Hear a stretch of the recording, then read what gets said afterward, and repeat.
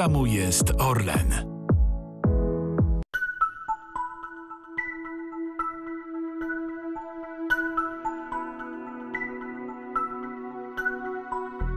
Początek września ciepły i słoneczny.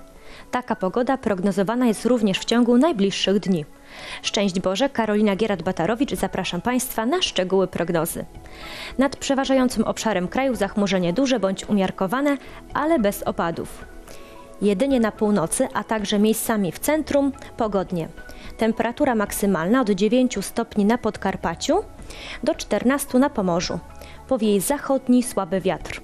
Jutro chmury będą przeplatać się ze słońcem. Tylko od Lubelszczyzny po Podkarpacie możliwy jest przelotny deszcz. Nad pozostałym obszarem pogodne niebo.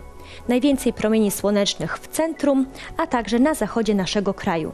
Temperatura od 20 stopni w Rzeszowie do 24 w Szczecinie i w Zielonej Górze. Powieje północno-zachodni umiarkowany wiatr, a ciśnienie wyniesie 1017 hektopaskali. We wtorek poranek chłodny. Z biegiem dnia w całej Polsce zachmurzenie umiarkowane, ale nie powinno padać. Najwięcej pogodnego nieba na południu naszego kraju. Temperatura maksymalna od 22 stopni na Suwalszczyźnie do 26 na Pomorzu Zachodnim i na zachodzie kraju.